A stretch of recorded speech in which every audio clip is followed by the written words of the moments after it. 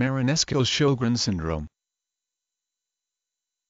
Marinesco-Sjogren syndrome, a genetic disorder characterized by very small stature, cerebellar ataxia wobbliness, cataracts, muscle weakness, hypogonadism low gonadal function, and developmental and mental retardation. The disease is usually evident at birth because of hypotonia floppiness. The cataracts appear during childhood. Motor milestones are delayed with ataxia apparent by the time the child can sit. Most patients are eventually able to ambulate with a walker. Growth is poor and pubertal development may not occur because of hypogonadism. Mental retardation is usually mild to moderate in severity. Prolonged survival is possible, but the muscle weakness tends to be progressive. The syndrome is inherited as an autosomal recessive trait with complete penetrance in both sexes. Whoever receives two Marinesco-Sjogren genes, one from each parent, manifests the syndrome.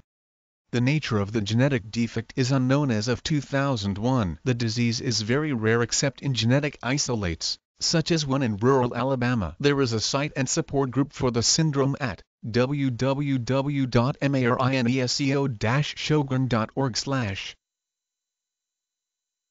M A R I N E S C O S J O G R E N S Y N D R O M.